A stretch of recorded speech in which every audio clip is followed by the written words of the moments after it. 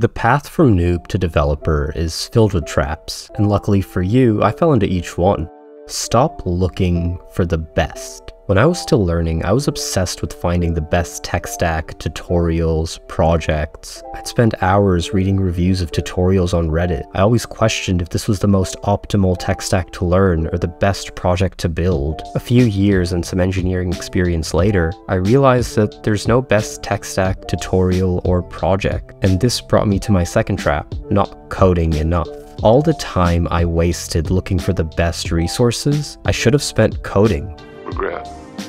Once you've learned the basics of programming, you don't need to learn to code anymore. You need to get better at developing software. And you do that by learning about things like frameworks, testing, best practices, and taking those learnings and applying them to your project.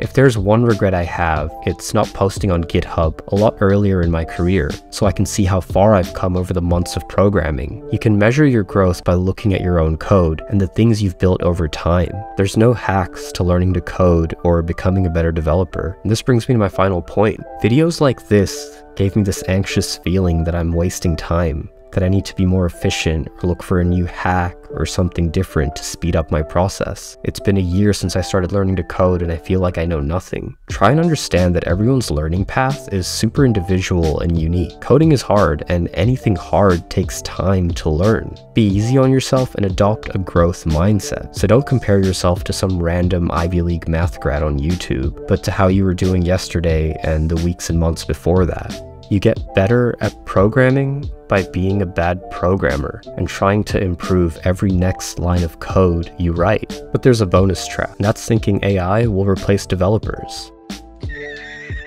In reality, software developers do so much more than just programming that I can make a separate video on why I'm so confident that won't happen. And if this video gets, say, 10 likes, I'll make that video. Don't quit, learn to code, it's an invaluable skill. Thank you for your time. I'm Big Box.